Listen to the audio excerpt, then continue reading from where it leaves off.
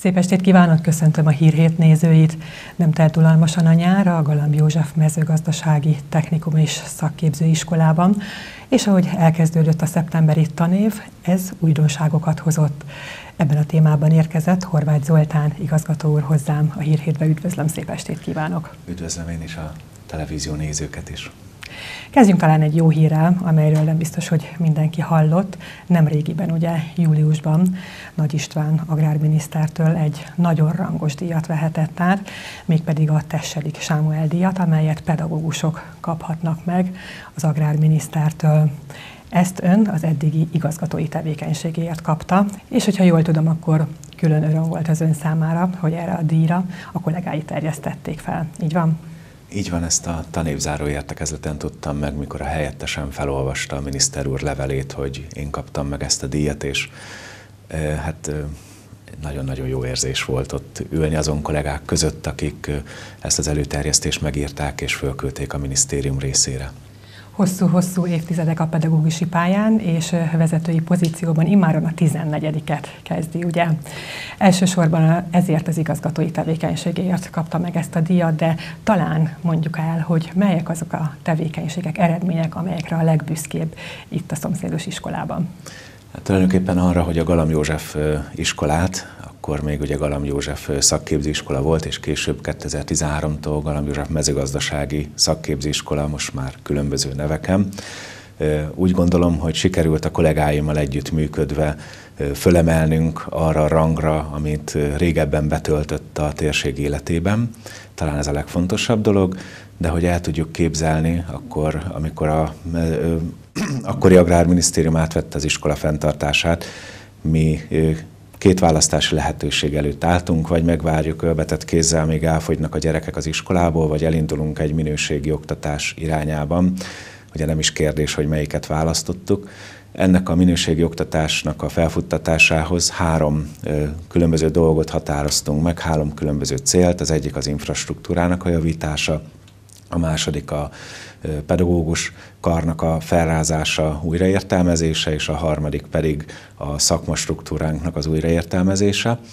És hát ezen indultunk el, mind a háromban értünk el eredményeket, hiszen aki elmegy a Szép utcán látja, hogy immáron teljes egészében kívülről megújult a Galamb József iskola épülete, a belső felújítás is folyamatos, a tante... a nyáron is voltak belső felújítások, tehát a diákok már új, például előadóteremben mehettek vissza. Igen, ez is egy nagyon nagy büszkeség részünkre, egy részeredmény, hiszen ez a piros bársonyülőkékkel ellátott szociális helyiségből lett egy nagyon modern, a megfelelő informatikai és technológiai eszközökkel felszerelt előadóterem, amely úgy gondolom, hogy most már kiszolgálja nem csak a diákok, hanem akár külső előadóknak is mindenféle igényét, kérését. 7 év alatt, hogyha jól tudom, 700 millió, forint költött, 700 millió forintot költöttek ugye a felújításra. Igen, úgy a tankert és a, tehát az iskolának a tankertje és az iskola főépületére együtt 700 millió forint körüli összeget költöttünk el. Ez nagy részben pályázati forrásból, de nagyon sok mindent önerőből ebbe a, nem csak az épületeknek a felújítását, hanem például a tankertnél a fűtésrendszer, elektromos rendszer teljes felújítását, illetve a diákokat kiszolgáló infrastruktúrát, itt gondolok a mezőgazdasági gépeknek a beszerzésére, illetve különböző technikai eszközök megvásárlására is egy hete kezdődött el ugye a tanév. Önök jó alaposan előkészítették, hiszen egy olyan történelmi helyzet előtt állunk, amely még nem volt, tehát újabb kihívásokkal kellett szembenézni. Hogyan fogtak neki, és hogyan indult el egyáltalán? Teljesen zöggenőmentesen az év? Én úgy érzem, hogy a diákok és a szülők számára zöggenőmentesen, az más kérdés az igazgató és a tanárok számára nem minden esetben de én azt kértem a tanévnyitó értekezleten, hogy nagyon gyors reagálású erőként gondoljunk most magunkra, hiszen a helyzet pillanatról pillanatra tud változni, ha a vírus helyzetre gondolunk, de emellett nekünk egy teljesen új jogszabály bevezetéséből adódó helyzetet is kezelnünk kellett, egy névváltoztatást át kellett vezetnünk, illetve van egy olyan szerencsés dolog, hogy az iskolánkban most nagyon sokan kezdték meg a 9. osztályt, ezért kezelnünk kellett a kialakult gyakorlati és helyproblémákat is. Pontosan 90-en, ugye? Igen, jelenleg a mai napon összesen kereken 90 új tanulónk van, 9-es tanulónk.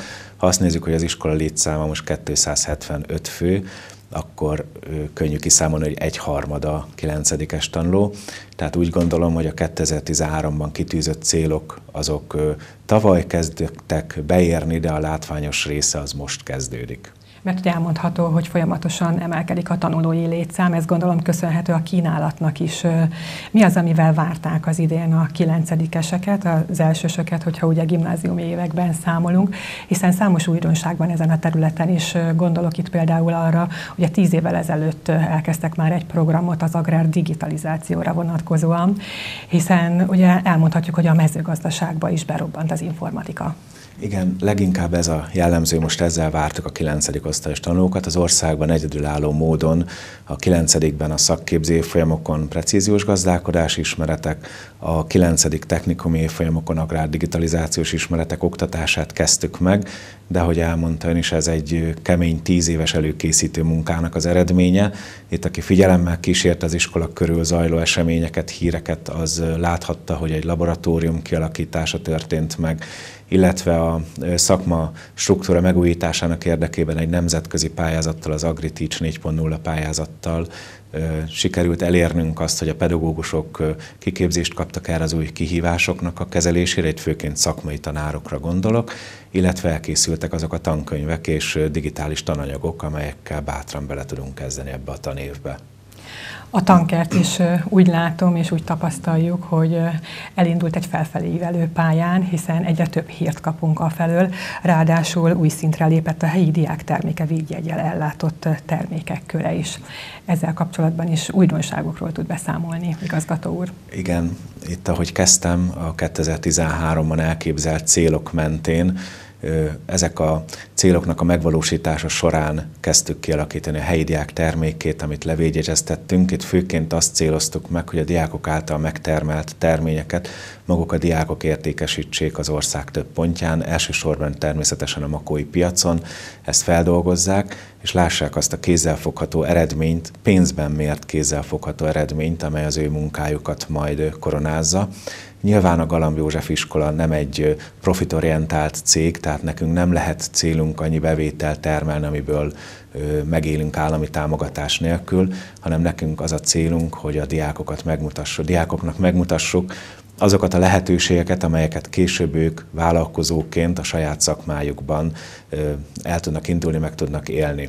A helyi diák termékének védjegyével kezdődött az egész, a laboratórium kialakításával folytatódott, az agrárdigitalizációval egy újabb lépcsőfokot lépünk, de természetesen a végső értékesítés során sem engedhetjük el ezeket a dolgokat, és ugye egy hatalmas öröm lett ez nekünk, hogy sikerült olyan helyszínre betörnünk a helyi diák termékével, amely úgy gondolom, hogy egy szentesi gazdának is a dicsőségére válna mert hogy ugye egy étterem kínálatában szerepelnek az önök által megtermelt termékek, azért büszkélkedjen és dicsekedjen ezzel. Én láttam ugye a menüsort is. Honnan jött ez a kapcsolat? A kapcsolat az 2013-ban egy véletlen folytán alakult ki, amikor én az iskola részére egy olyan dizájnert kerestem, akivel meg tudjuk beszélni az ötleteinket, és akkor találkoztam Dömsödi Zsoltal, akivel később az iskola logóját, a helyi diák terméke logóját, illetve azóta is minden plakátot, szórólapot, Facebook design terveztetünk, átbeszéljük, hogy mi lenne jó és hogyan működik, de az ő fő szakmája az, hogy szakács és a Páterház panzió és étteremnek a tulajdonosa, illetve a vezérigazgatója, és innen jött ez az ötlet. Most, amikor nyáron beszélgettünk, hogy vittem hozzá kóstolót, megkóstolta a paradicsomot, és azt mondta, hogy ez sokkal jobb ízű, mint a szentesen elérhető áruk. Természetesen itt külön kell választani ezt a PR kapcsolatot a étteremtől, hiszen nem teheti meg azt, hogy csak a mi két szép szemünkért bevigyen olyan minőségű árut, amire később a vendégek azt mondják, hogy ez nem finom és nem mennek többet, tehát elsőrangú termékekkel próbálja őket kiszolgálni ezért ez nagy öröm számomra, hogy külön menüsor készült erre az iskola termékekre. A paradicsom, cukkini, padlizsán, szőlő tudtunk neki most szállítani. És ez nagyon jól kapcsolódik egy mostani kormányzati programhoz, ugye a Válaszd a hazait című programhoz, úgyhogy úgy gondolom, hogy ennek hosszú távú jövője is van, hiszen egyre több magyar ember arra törekszik, hogy a hazait választa majd jelen pillanatban minek van a szezonja. Hát most már a szilva érik, különböző fajta szilvák, hadd nem mondjam, hogy milyenek van, vagy húszféle különböző szilvafajtánk, ami szintén egészen a, a nyers fogyasztástól kezdve a befőtt készítésen át, a lekvárfőzésen és természetesen a pálinka főzésen keresztül is mindenre alkalmas. Ezt a kollégák tudják, hogy melyik fajtát melyikre ajánlják. Azt azért megegyezném, hogy mi 2013-ban a minisztérium átvétel után azt is végig gondoltuk, hogy ez a hazai termék választásához olyan hazai hozzáértő szakemberekre van szükség, amelyeket egy mezőgazdasági iskola tud képezni, és itt kapcsolódik össze. Mi nagyon sokat próbáltuk iskolakerteket létrehozni. Apátfalvi általános iskolával dolgoztunk együtt, most a Almás utca iskolával, meg a Szikszai utca iskolával dolgozunk együtt ez ügyben, és Emellett a kertek mellett a makói óvodáknak a kertjét is a mi diákjaink szokták szépíteni a Mencs meg egy kertet program keretében. Tehát ez a kormányzati program sem új keletű, de most különösen aktuálissá vált, és a miniszter úr a zászlójára tűzte, ezért ez nekünk nagyon nagy öröm, hogy tulajdonképpen mi emellett a gondolkodás mentén haladunk előre. Így van, és hogyha már előre, akkor mi is tekintsünk egy kicsit tovább, hiszen vannak terveik, bár még csak a tanév most kezdődött el, de hogyha jól tudom, akkor például az ösztöndíj programjukat, amely helyi szinten, megyei szinten, országos szinten is egyedülállónak mondható, szeretnék tovább folytatni, sőt fejleszteni, amely a tanulókat érinti az iskolában, és ilyen dicséretes. Ez is a helyi diák termékéhez kapcsolódik, hiszen a piacon és a közületeknél értékesített termékekből, befolyó pénzből döntöttünk úgy, hogy az iskolának most már annyira stabil az anyagi helyzete, hogy megengedhetjük magunknak, ösztöndíjat alapítottunk, ezzel is Galamb József nyomdokaira léptünk, hiszen Galamb József is ösztöndíjat alapított a tehetséges diákok részére. Nem szociális alapon, hanem tanulmányi alapon döntjük el, hogy ki mennyi ösztöndíjat kap. Ennek a sikere annyira jól bejött, hogy a gyerekeknek az igazolatlan hiányzás száma az drasztikusan lecsökken, az iskola átlag emelkedett, és nagyon szeretnénk, hogyha az idén tovább tudnánk folytatni, anyagi stabilitásunk ezt lehetővé tenni, de emellett vannak olyan elképzeléseink is szintén a helyi diák termékhez kapcsolódóan, hogy egy iskola boltot szeretnénk még az idén megnyitni. Természetesen itt is a vírus helyzettől és a, a nagyon sok helyzettől függ, hogy ennek sikerül-e, vagy megvalósul-e az idén ebben a tanévben Ez ennek a realizálása. megtermelt termékekkel? Elsősorban saját magunk által megtermelt terményekkel, illetve ugyanazt a célt is szolgálna, mint a diákoknak létrehozott diáklub, hogy a nálunk tanuló diákok jól érezzék magukat, bővítsük részükre nem csak az oktatási kínálatunkat, hanem azokat a terményeket is, amelyeket akár ők termelnek meg, és megvásárolnak saját maguknak 10 óraira, ebédre, otthonra, hogy a diáklubban ezeket még fel is tudják dolgozni. Rendszeresen szoktak palacsintát sütni, pizzát sütni, lehetőleg helyi diák termékéből. Ehhez vásároltunk például malmot, ami a búzát megörli, és akkor tovább nem is kell ezt ragoznom. Ez igen, hát akkor a tervekhez további sok sikert kívánok, és nagyon jó, sikeres tanévet. Köszönöm szépen. Köszönjük, hogy itt volt, és mindezt elmondta nekünk. Önöknek pedig azt, hogy velünk tartottak a mai hírhétben.